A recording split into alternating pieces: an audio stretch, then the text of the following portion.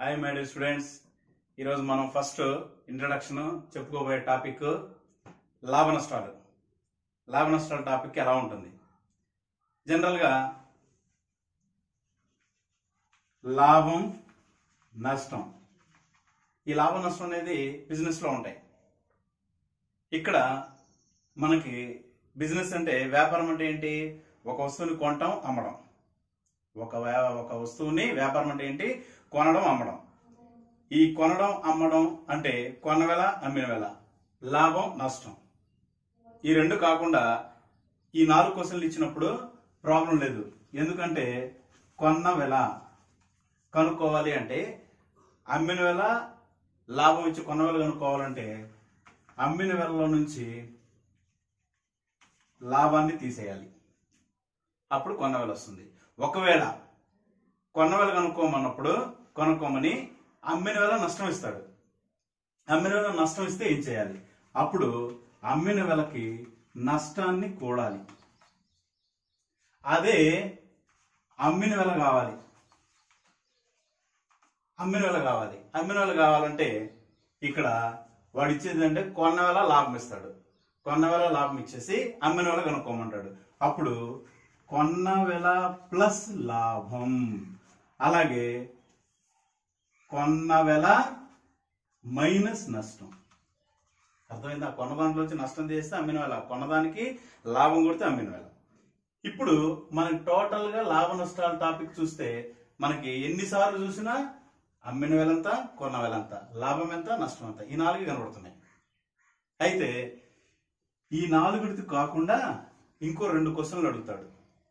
అదేంటి అంటే లాభ శాతం. అలాగే నష్ట శాతం. ఓకేనా? లాభ శాతం ఎంత నష్ట శాతం ఎంత? అన్నప్పుడు మాత్రం మనకి వస్తుంది ప్రాబ్లం. అంటే దేన్ని లాభ శాతం అనుకోవాలి దేన్ని నష్ట శాతం? ఇలా అవి కనుక్కోవాల్సి వచ్చినప్పుడు దేన్ని మేజర్ పార్ట్ దాన్ని దేన్ని వంద శాతంగా అనుకోవాలి. మామూలుగా మనకి శాతాల్లో ఇచ్చినప్పుడు ఏం చేస్తామంటే శాతాల్లో కనుక ఏంటంటే మొట్టమొదటి తెలియని ఒక సంఖ్యని మనం ఏమనుకుంటాము వంద శాతం అని చెప్పి అనుకుంటాం. స్టార్టింగ్ నెంబర్ని మరి ఇక్కడ కొన్న వేలు ఉంది అమ్మిన వేలు ఉంది దేన్ని వంద శాతం అనుకోవాలి ఎక్కడ అనుకోవాలి? ఎలా అనుకోవాలి? ఎట్లా అనుకోవాలి? చూద్దాం. ఇక్కడ అన్నిటికన్నా లాభ శాతం నష్ట శాతానికి సంబంధించి కనుక్కోవాల్సి వచ్చినప్పుడు కన్ఫ్యూజ్ ఉంటుంది.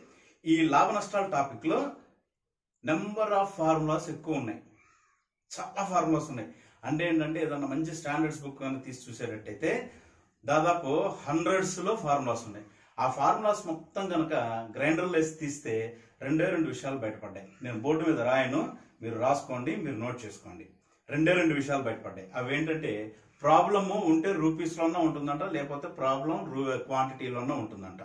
ఉంటే రూపీస్లోనే ఉంటుంది లేకపోతే క్వాంటిటీలోనే ఉంటుంది.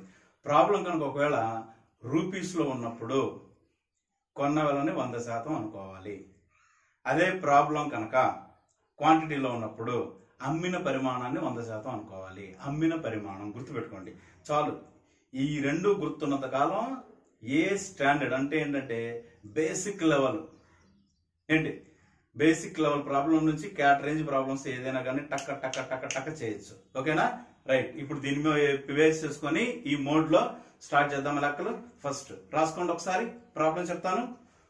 ఇక్కడ ఒక వర్తకుడు తన వద్ద ఉన్న వస్తువును నాలుగు వందల రూపాయలకు అమ్ముచు నలభై రూపాయలు లాభం పొందెను. నాలుగు వందల రూపాయలకు అమ్ముచు నలభై రూపాయలు లాభం పొందెను. అయిన లాభ శాతం ఎంత? ఓకేనా? చూడండి. ఇక్కడ ఒక వర్తకుడు అమ్మిన వేళ ఎంతకు అమ్ముతున్నాడు?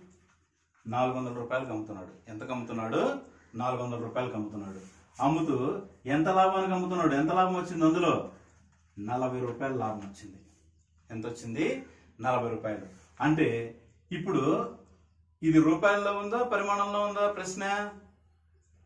రూపాయల్లో ఉంది. రూపాయల్లో ఉంది కాబట్టి మనం వంద శాతం ఎంత అనుకోవాలి? కొన్న వంద శాతం అనుకోవాలి. కొండ వేల రావాలంటే ఏం చేయాలి? అమ్మిన వెళ్ళ నుంచి లాభాన్ని తీయాలి. ఎంతప్పుడు? మూడు వందల అరవై. ఇది కొన్న వేల మూడు వందల అరవై రూపాయలు వంద శాతం అయితే నలభై రూపాయలు ఎంత? సింపుల్. అస్సలు ఇది బై ఇది ఇది బై ఇది అందరు చెప్తారు. ఏం నవ్వద్దు. మూడు వందల అరవైని ఏం చేస్తే నలభై అవుతుంది తొమ్మిదితో భాగిస్తే. అంతేగా? వందను కూడా తొమ్మిదితో భాగించండి. వంద బై తొమ్మిది. పదకొండు ఒకటి బై తొమ్మిది. అయిపోయింది అంతే. లాభ శాతం. పదకొండు ఒకటి బై తొమ్మిది అని చెప్పచ్చు. అర్థమైందా? నెక్స్ట్. ఇంకో లెక్క. పరిమాణంలో ఎలా అనుకోవాలి?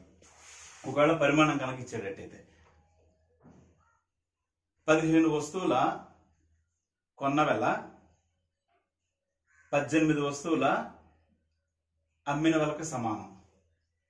అయినా లాభమా నష్టమా ఎంత శాతము? ప్రశ్న. ఓకేనా? ఇప్పుడు దీన్ని ఇక్కడ మనం ఎలా సాల్వ్ చేయాలి? నేను ప్రశ్న ఒకేసారి చెప్తున్నాను కారణం ఏంటంటే మీరు ఒకసారి వెనక్కి వెళ్ళి మళ్ళీ చూసుకోవచ్చు. అంతేగాని అనవసరంగా టైం వేస్ట్ చేయదలుచుకోవాలి. ఓకేనా? రైట్. ఇప్పుడు పదిహేను వస్తువులు కొన్న వేళ పద్దెనిమిది వస్తువులు అమ్మిన వేళకు సమానం అన్నాడు. అర్థమైందా? అంటే ఎగ్జాంపుల్కి డైరెక్ట్గా చెప్పేస్తా. పదిహేను వస్తువులు వంద రూపాయలు కొన్నా. నాకు ఆ వంద రూపాయలు అమ్మడానికి ఎన్ని అమ్ముతున్నా పద్దెనిమిది వస్తువులు అమ్ముతున్నా నష్టమా? లాభమా? నష్టమే మూడు వస్తువులు ఎక్స్ట్రా అమ్మాల్సి వచ్చిందిగా ఆ వంద రూపాయలు వెళ్ళడానికి నష్టమే. పరిమాణం ఇచ్చినప్పుడు వంద శాతం దేన్ని అనుకోవాలి? అమ్మక పరిమాణం. ఇది పరిమాణమే కదా? వస్తువులు వస్తువులు అన్న. ఎక్కడ రూపాయల ప్రస్తావన రాలా. వస్తువులు వస్తువులు ఉన్నాయి కాబట్టి రూపాయల ప్రస్తావన రాలేదు కాబట్టి అమ్మక పరిమాణం తీసుకుందాం. అమ్మక పరిమాణం ఎంత? పద్దెనిమిది వస్తువులు. ఓకేనా? పద్దెనిమిది వస్తువులు. వంద శాతం అయితే నష్టం ఎన్ని వస్తువులు? మూడు వస్తువులు. ఎంత? ఇది కూడా సేమ్. పద్దెనిమిది మూడో వాళ్ళంటే ఎంత పెట్టి డివైడ్ చేయాలి? ఆరు పెట్టి డివైడ్ చేస్తాడు. వందని కూడా ఆరు పెట్టి డివైడ్ చేయండి. వంద బై ఆరు అంటే ఎంత? యాభై బై మూడు అంటే ఎంత? పదహారు రెండు బై మూడు శాతం నష్టం అని చెప్పచ్చు. అర్థమైందా? రైట్. నెక్స్ట్. ఇప్పుడు ఇదే బేస్లో రెండింటిని కలిపి మిక్స్ చేసి అంటే ఏంటంటే పరిమాణం రూపాయలు రెండు కనపడతాయి ఆ లెక్కలా ఉంటుంది. తమాషాగా ఉంటుంది. బ్యూటిఫుల్గా ఉంటుంది. చూడండి ఒకసారి. ఒక వర్తకుడు ఇరవై నాలుగు మామిడి పండ్లను అరవై రూపాయలకు కొని అంతే అరవై రూపాయలకు ఇరవై శాతం లాభానికి అమ్మవలెనన్నా ఎన్ని పండ్లను అమ్మవలేయును? అర్థమైందా? రైట్. ఇప్పుడు చెప్తా మీకు. వాడు ఏం చేశాడు? కొన్న వేళ వర్తకుడు. ఓకేనా? ఏం చేశాడు? ఇరవై నాలుగు మామిడి పండ్లను అరవై రూపాయలు కొన్నాడు. అంటే ఒక్కొక్క మామిడి పండు ఎంత పడింది? అరవై బై ఇరవై నాలుగు. ఓకేనా? ఒక పండు. అంటే ఎంత? ఆరు పదులు ఆరు నాలుగు. పది బై నాలుగు అంటే ఎంత? రెండున్నర రూపాయలు అయింది ఒక్కొక్కటి. ఒక్కొక్కటి ఎంత అయింది రెండున్నర రూపాయలు అయింది దాని మీద లాభం ఎంత తీసుకున్నాడు ఇరవై శాతం లాభం వేసుకొని అమ్మాడు. అంటే అమ్మిన వెల ఇజ్ ఈక్వల్ రెండు పాయింట్ ఐదు ఇంటూ నూట ఇరవై బై వంద. ఈ డిస్మల్కి ఈ జీరో క్యాన్సిల్ అవుతుంది. ఇరవై ఐదు నాలుగులు నాలుగు మూడులు ఎంతకి? మూడు రూపాయలకి అమ్ముతున్నాడు. అమ్ముతున్నాడు మూడు రూపాయలకి. మూడు రూపాయల చొప్పున ఒక్కొక్క పండు అమ్ముతా అరవై రూపాయలు రావాలంటే ఎన్ని అమ్మాలి అమ్మకపు పరిమాణం ఇజ్ ఈక్వల్ టు అరవై బై మూడు. అంటే ఎంత? ఇరవై మామిడి పళ్ళు అమ్మాలి. ఇది లాంగ్ ప్రాసెస్. ఓకే? దీనికి షార్ట్ కట్ చెప్తాం. మీరు ఒకసారి జాగ్రత్తగా వినండి. ఇప్పుడు నేను వంద రూపాయలకి ఇరవై మామిడి పళ్ళు కొన్నా. నా వందే నాకు రావాలి. అంతకుమించి రూపాయి కూడా వద్దు. లాభం రావాలంటే ఏం చేయాలి నేను? నా వంద తప్ప ఇంక రాకూడదు. లాభం రావాలంటే ఏం చేయాలి నేను? ఖచ్చితంగా పళ్ళు తగ్గించి అమ్మాలి. అంటే పంతొమ్మిది అమ్మాను అనుకో ఇంత లాభం వస్తుందిగా? పద్దెనిమిది అమ్మితే ఇంత వస్తుందిగా పదిహేను అమ్మితే ఇంత వస్తుందిగా పన్నెండు అమ్మితే ఇంత వస్తుందిగా అంటే ఏంటి? క్వాంటిటీ తగ్గిన కొద్దీ పరిమాణం తగ్గిన కొద్దీ లాభం ఏమవుతున్నది పర్సంటేజ్ పెరుగుతున్నది. అలాగే పర్సంటేజ్ తగ్గుతున్న కొద్దీ పరిమాణం ఏమవుతుంది పెరుగుతుంది. కాబట్టి చూడండి షార్ట్ కట్లో. ఇరవై నాలుగు మామిడి పళ్ళు వంద శాతం అయితే నూట ఇరవై శాతానికి ఎంత? శాతం పర్సంటేజ్ పెరిగితే ఏమో వాళ్ళ క్వాంటిటీ తగ్గాలి కదా. తగ్గాలి కాబట్టి ఇరవై నాలుగు ఇంటూ తక్కువ బై ఎక్కువ. వంద బై నూట ఇరవై. క్యాన్సిల్ చేయండి. సున్నా సున్నా. పన్నెండు రెండు. రెండు పదులు. ఇరవై మామిడి. మనం అమ్మితే లాభం వస్తుంది. ఇరవై శాతం. అర్థమైందా? రైట్ నెక్స్ట్ దీని తర్వాత ప్రాబ్లం ఓకేనా నెక్స్ట్ అందరూ కొంచెం ఇక్కడ ఒక్కటే అర్థమెటిక్ రాక కాదు. అర్థం కాక. అర్థమైతే కొంతమంది అర్థమైన వాళ్ళు కూడా నాకు అర్థం కాలేదని చెప్తారు. అంటే ఏంటంటే చేయటం చేత కాక. అంటే క్యాలిక్యులేషన్ పార్ట్ రాక. నేను ఎప్పుడే అరు అరుస్తా అరిగిపోయిన రికార్డులాగా ప్రతి వీడియోలో చెప్పేది అది. క్యాలిక్యులేషన్ నేర్చుకోండి క్యాలిక్యులేషన్ నేర్చుకోండి. లేకపోతే ఉపయోగం లేదు ఉపయోగం లేదు. అంతే కదా? క్యాలిక్యులేషన్ ఉంటేనే. ఓకేనా? సరే. నెక్స్ట్ దీని తర్వాత ప్రాబ్లం ఎలా ఉంటుందో చూద్దాం. ఓకే? రైట్. చూడండి. ఒక వస్తువును ఒక వ్యాపారి మూడు వందల యాభై ఐదు రూపాయలకు అమ్మినా